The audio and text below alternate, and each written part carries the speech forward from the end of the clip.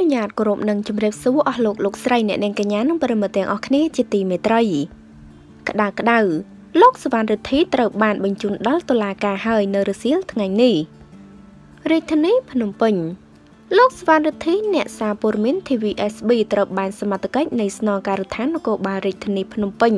ចាប់ខ្លួននិងរៀបចំសំណុំឯកសារបញ្ជូនទៅតុលាការនៅរសៀលថ្ងៃទី8ខែមេសាឆ្នាំ2020ដើម្បីអនុវត្តបន្ត តាមនីតិវិធីច្បាប់ពីការបង្ហោះព័ត៌មានញុះញង់បង្កឲ្យមានភាពវឹកវរដល់សន្តិសុខសង្គមកាលពីថ្ងៃទី7ខែមេសាឆ្នាំ2020ដោយមានការសហការរវាង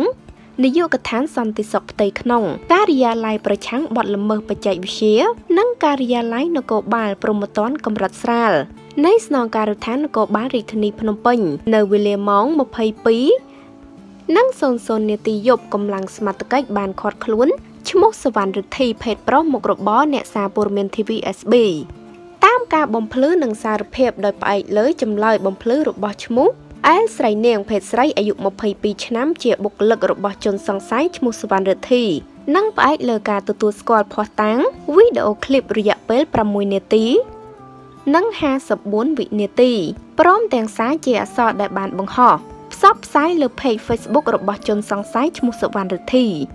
ជនសង្ស័យឈ្មោះសវណ្ណរិទ្ធីពិតជាបានប្រព្រឹត្តអំពើញុះញង់បង្កឲ្យមានភៀមវឹកវរធ្ងន់ធ្ងរដល់សន្តិសុខសង្គមនៅចំណុចផ្ទះលេខ10ការិយាល័យអង្គភាពសារព័ត៌មាន TVSB News 24ម៉ោងផ្លូវលេខ289ភូមិបុរីពិភពថ្មីសង្កាត់ភ្នំពេញថ្មីខណ្ឌសែនសុខរាជធានីភ្នំពេញ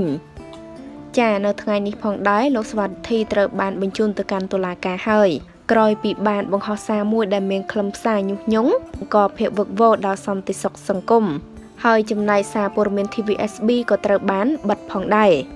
ចាយើងរងចាំមើលទៀតថាតើលោកស្វានរិទ្ធីត្រូវបានផ្ដន់ទានទោសបែបណា យើងនឹងតាមដានបន្តទៀតចាហើយតកតងនឹងព័ត៌មាននេះដែរក៏សូមអញ្ជើញតែត្រឹមនេះអរគុណបងប្អូនទាំងអស់គ្នាសូមចុច Subscribe និងរូបកណ្ដឹងដើម្បីទទួលបានព័ត៌មានថ្មីៗជាបន្តទៀតសូមអរគុណសូមគោរពលា